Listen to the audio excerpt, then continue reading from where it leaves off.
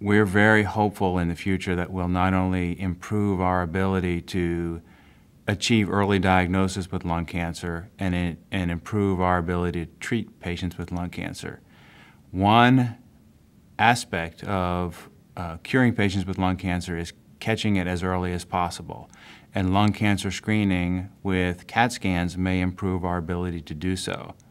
But in addition to CAT scan screening, research has uh, been able to identify certain proteins that may be expressed in the blood that will, uh, together with CAT scan screening, improve our ability to identify patients. So a patient may undergo a CAT scan that might show a nodule, but if their blood test shows no proteins associated with lung cancer, we may look at that nodule and observe it, but, but not really be worried.